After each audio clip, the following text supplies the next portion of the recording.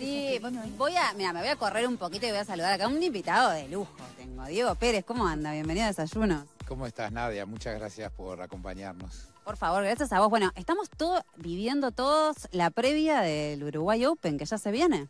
Ya se viene y es una versión reforzada. Este, este año eh, subimos los, nos, la ATP nos, nos hizo un reconocimiento y nos subió de categoría, digamos.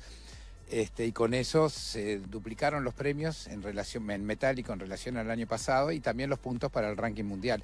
Y eso se reflejó enseguida en los en la lista de los jugadores. La verdad es que tenemos como unos 15 jugadores entre los 150 mejores del mundo, unos cuantos entre los 100. La verdad que se viene una semana con toda. Diego, es tremenda noticia y muy importante para el tenis nacional esto que estás contando eh, y sobre todo poder contar con, tenistas de, de, tan alto nivel acá en nuestro país. Y esta es la cita anual para ver tenis de primera. Este, y, bueno, y año a año siempre nos esforzamos para traer, para invitar o que vengan los mejores jugadores posibles. Y este año, ya te digo, con esto de que estamos a repartir 132 mil dólares en premios, no es poca cosa, y hay 100 puntos para el ganador, entonces todo eso hace que, ya sea más interesante todavía para los, para los tenistas de participar. Eh, te quiero aclarar, te voy a, dar algunos datos. Eh, por ejemplo, los, los partidos centrales. Esto arranca el lunes 13 y va hasta el domingo 19.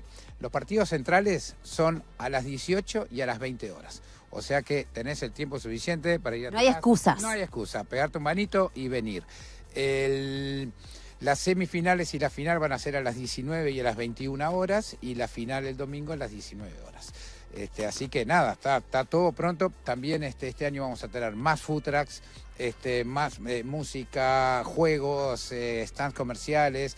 La verdad que va a estar re divertido. No es necesario que seas un fanático así, viste, a full, sino que con, te guste un poquito, te venís a tomar una birra, a comer algo y a ver un ratito de tenis. Diego, tiranos alguno de los nombres de los tenistas más conocidos que van a estar participando, porque estuve viendo la lista y hay eh, gente importante que viene. Sí, son jugadores que, mira, que después vos prendés la televisión y los ves jugar en los grandes torneos. Este, está Cachín es un argentino que está a 70 y poco, Coria está 66, 77, Galán está a 90 y poco, Garín está 80 y algo. Eh, y después tenemos muchos jugadores que están tipo 103, 105, 109, o sea, muy, muy, muy bien rankeados y muy pegados. O sea que esto nos asegura que desde el día uno ya se van a estar arrancando las muelas, te diría, porque va a haber partidos muy, muy competitivos. Y quería darte otro, otro dato. Decime. Estamos en, el, en los dos meses del tenis este, profesional internacional como jamás tuvo el Uruguay. Ahora tenemos el Uruguay Open. Del 4 al 10 de diciembre tenemos un torneo WTA que es lo mismo que digamos el tenis profesional este, femenino, un torneo que reparte 125 mil dólares en premios, un torneo grande. Y después, ahora es algo nuevo, surgió la posibilidad de hacer un otro challenge al igual al Uruguay Open, pero en Punta del Este, del 22 al 28 de enero. Nos llamó la ATP para decirnos queremos que los hagas y nos está dando un apoyo muy importante. Y todo esto es un reconocimiento a tantos años de trabajo. Así que nunca he visto, en dos meses en Uruguay hay tres eventos de tenis profesionales de los buenos. La verdad que Diego, tremenda noticia la que nos estás dando para, para, el tenis nacional, para que se siga desarrollando este deporte. Te agradecemos mucho por estos minutos y ya en el cierre entonces invitamos a, a todos los que se quieran sumar al Uruguay Open 2023 a que vengan. Están todos invitados y ahí en el piso les mando un fuerte abrazo y los espero. Muchas gracias. Gracias a ti, Nadia. Bueno, ahí teníamos a Diego Pérez con todas las novedades sobre este gran evento que se viene acá en nuestro país. Coco está pronto, ¿eh? sí, mira, está, por sacar. Coco para mí tiene que jugar. Está por sacar, mira. Coco es tremendo jugador. gran jugador, ya Ceci, ya me lo ha dicho. Saca, eh, acá en el Carrasco Lawn Tennis hay datos de Coco Echagüe.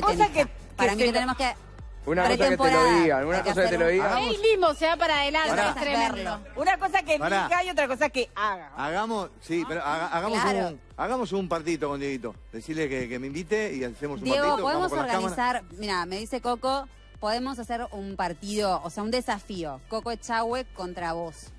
Venimos con las cámaras nosotros. Eh, ¿Te parece? Encantado. Pará. hecho. Esto creo que lo venimos, Coco, lo venimos hablando hace tiempo. Hace ¿eh? tiempo, pero pará. Diego tiene que jugar con la mano no hábil y la otra no, no, no, el shortcito, agarrar la raqueta, te espero, dale. Ah. Me Dice que encanta. tenés que jugar con la mano no hábil. Eso, los detalles después los arreglamos. Para mí vos jugás con las dos manos. Dale, Una de las grandes raquetas que Quedamos que- así. dale, hecho. Beso grande para Diego. ¿eh? Chao, Pero escúchame, claro, qué tremendo desafío. Hasta luego. Chao, Nadia. Beso grande. Chao. Pará, y, y Coco Chagüe se pone todo el look así de... Oh, ¿y de vos tenés vinchi- alguna duda? vinchita, Combinado hasta muñequera, medias. Un día me... Obvio. Saco, para que te saco. Ojo, eh, la vas a buscar. ¡Uh! ¿Viste?